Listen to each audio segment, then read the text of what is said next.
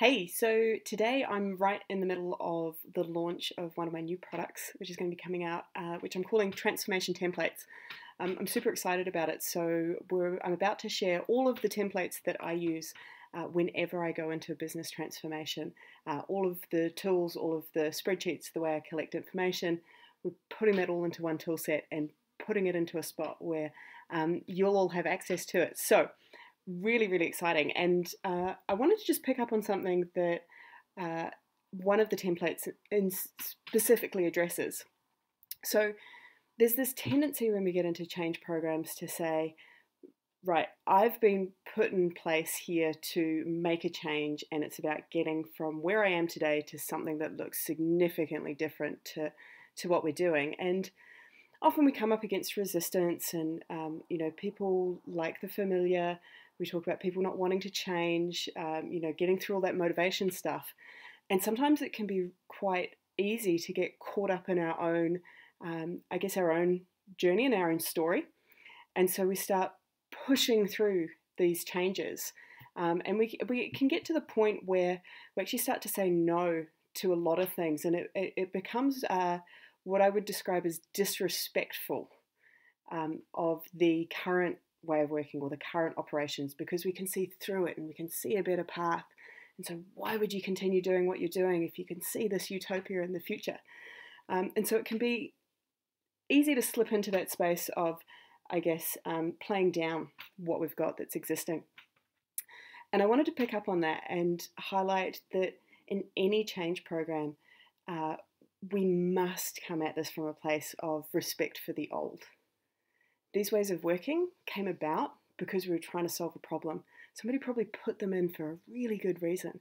That strange process where we double, triple, quadruple check something was probably put in place for a good reason at some point. And so when we then go to start unpicking and undoing this and we start impacting the lives of our colleagues and, and our team members, and it's really important that we come to it with a place of respect. So understanding that these things may have been put in place for a very, very good reason, but actually we're going to move to something that's going to be a whole heap better. And so one of the tools that I use over and over and again is this um, this idea of a give and take planner. So whilst we're taking away something, we're changing the current way of working. What's the give back?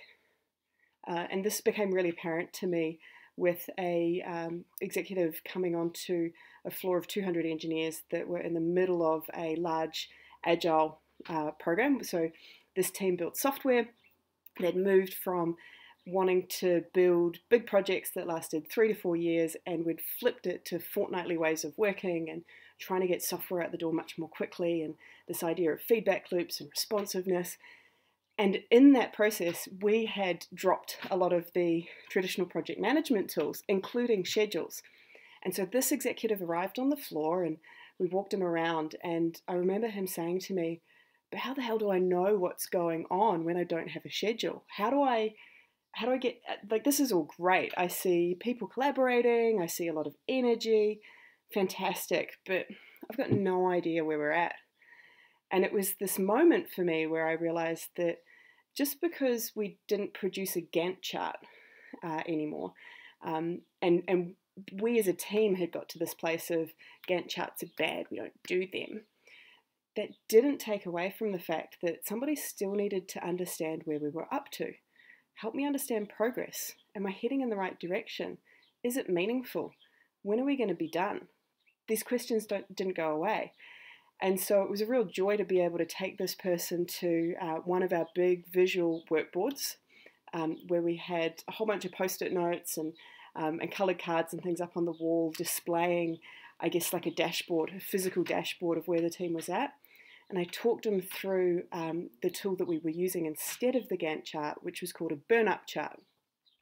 And I took them through and, and taught them how to read these particular tools and explained the, the trend line and, and where finish happened and those sorts of things. And by the end of it, he was really comfortable that he could come back into that space and get the answers that he was looking for.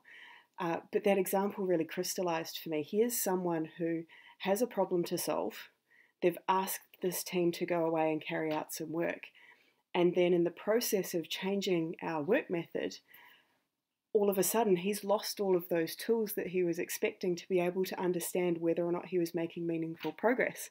And so turning around to him and saying, well, that's not the way we do things anymore, was actually the same behavior we were trying to get away from. And so instead, having respect for the old, we understand that there, just because we don't use that tool anymore, doesn't take away from the fact that you still have a problem or a um, or an insight that you're looking for, and actually, here's the give back. Here's the way that you get that information and the new way of working. Here's how you understand what you're looking for, um, and potentially in a much better way than the previous tool. We hope. That's why we're changing, right? So I'll leave that one with you. I'm going to go back to some video recording and um, getting these templates up online, but I hope you have a wonderful day and we'll see you again next week.